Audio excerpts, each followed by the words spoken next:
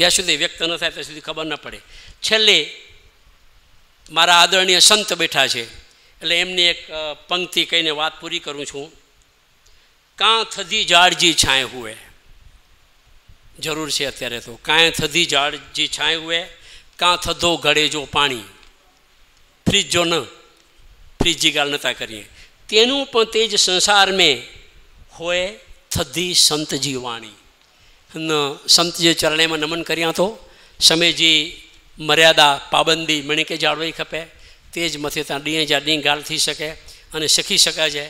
તે જ જો વાંચન કરીને મૂકો ગુંદ શીખેલા મળ્યો હોય અને જે માટે મણી સંચાલકે જો, ભા સોમ ધરમસિંહ જો, અહીં મળે મૂકે શાંતિથી સોયા તા અહીંયા જ, બાકી અહીં આજા હાલ જાણો.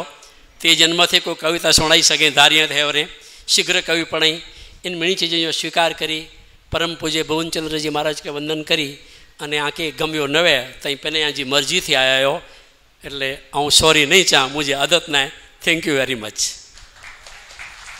ધાર્મિક કટાક્ષ કર્યો છે. એવો જ કટાક્ષ મધ્યકાળના અખાએ કર્યો છે અને આપણે એના છપ્પાથી સુપેરે પરિચિત છીએ, એટલે એક પણ છપ્પો હું બોલીશ નહીં. પણ એ કવિના અભ્યાસુ એવા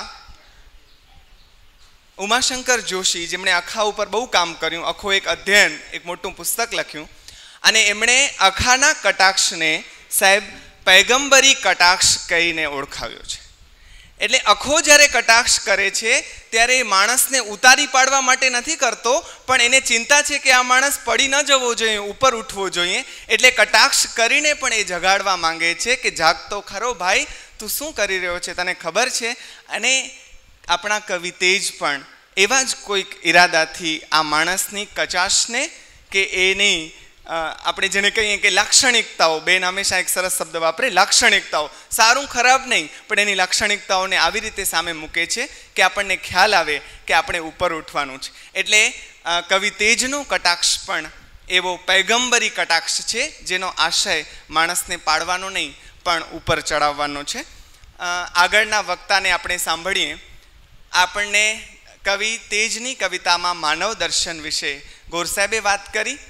આગળ આપણી સમક્ષ આવી રહ્યા છે મૂળ ફરાદીના વતની અને નામથી રવિ અને ઉપનામથી તિમિર. નામ એમનું રવિ એટલે સૂર્ય અને ઉપનામ તિમિર એટલે તેજ અને તિમિરને સાથે લઈને ફરતા કવિ એટલે આપણા તિમિર સાહેબ. પ્રકૃતિએ કોમળ એવા કવિ પાસેથી આપણને અપાકે, વતર નિર્ણય જેવા કચ્છી કાવ્ય સંગ્રહો પ્રાપ્ત થયા છે. તેમણે શિક્ષાપત્રીનો કચ્છી અનુવાદ પણ કર્યો છે. અને હું એમના સૌથી વધારે પ્રેમમાં છું, એનું કારણ છે સાત ઢગલી ધૂળમાં.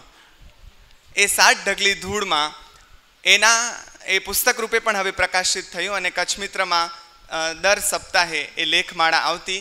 એમાં ડામચીઓ હોય કે ખીચડી હોય, એ એવા જે પ્રસંગો એમણે આલેખ્યા છે, એ બધા આ લગભગ અહીં બેઠા છે, એ લગભગ પચાસ, સાહીઠની ઉંમરના કે એની આસપાસના છે. એટલે એમણે જે કચ્છ જોયું છે, ખાસ કરીને ગામડાને, એમણે એકદમ જીવંત કરવાનું કામ અમણે તિમીર સાહેબે કર્યું છે. અને અમને વનાંચલ યાદ આવે, જયંત પાઠકનું. અને બીજા કેટલા બધા સ્મૃતિ ગ્રંથો યાદ આવે. પણ એનાથી એ ક્યાંક ટપી જાય, કચ્છી તરીકે આપણને ગૌરવ લેવાનું મન થાય એવું સાત ઢગલી ધૂળમાં સાહેબને ઘણા બધા સન્માનો પણ પ્રાપ્ત થયા છે. પણ એમની એક કવિતા હમણાં જ મેં ચિંગારમાં વાંચેલી સાહેબ. એમની પહેલાં અમને લઈ લઈશું આપણે જીતભાઈને. પણ, એમનો પરિચય પૂરો કરું. ચિંગારમાં એક સરસ કવિતા હમણાં એમણે લખેલી, શરૂઆત હળવી હોય અને આગળ જતાં કવિ ક્યાં પહોંચે? કમ ન એડો કજવલા, કમ ન એડો કજવલા જે વનાય લજવલા કમ ન એડો કજવલા અને આપણને એમ થાય કે કવિ કાંતા સંમિત કેવો ઉપદેશ આપી જાય અને છેલ્લે તો જુઓ એ હળવા ટોનમાં શરૂ થયેલી કવિતા અંતે આ પંક્તિઓ પર અટકે છે ડલ કરીને સૌથી વધારે ગોરસાહેબે જેમને ઉલ્લેખ કર્યો ને કે મીઠા માળું બહુ આકરો નકો છે અને એમના સંબોધનોમાં પણ વલા હોય કાં જેડલ હોય એવા તિમિર સાહેબ આપણી વચ્ચે આવશે એ પહેલાં આપણી વચ્ચે જીતભાઈ જીત ચારણ એ કવિ તેજની એક ચારણી શૈલી ટાઈપની કવિતા લઈને આવી રહ્યા છે. એક નાનકડા બાળ બાળ કલાકાર આપણી વચ્ચે આવશે. અને કવિ તેજનું જે સરસ્વતી શિશુ મંદિરના બાળકોએ પ્રાર્થના રજૂ કરી, એમાંના જ એક જીતભાઈ આપણી વચ્ચે આવશે. હે પાર્શનાથ